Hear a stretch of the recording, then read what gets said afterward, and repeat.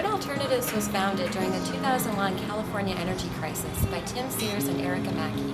They were two engineering professionals who were implementing large-scale renewable energy and energy efficiency projects for the private sector. The idea that drove them to Grid was simple. Free, clean electricity from the sun should be available for everyone. Typically, under-resourced communities and communities of color disproportionately bear the burden of environmental injustice and climate change. Therefore, the voices and leadership of communities on the front lines of these issues are key to creating equitable and lasting solutions. So this is our vision and our mission. Grid Alternatives' vision is to transition to clean, renewable energy that includes everyone. Our mission is to make renewable energy technology and job training accessible to underserved communities.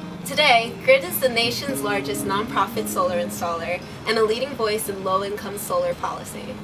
We serve families in California, Colorado, the Mid-Atlantic region, and tribal communities nationwide. In addition, our international program works with communities in Mexico, Nepal, and Nicaragua to increase energy access. Here at Grid Alternatives, we strive to continue to make solar technology accessible to underserved communities while providing a pathway to clean energy jobs.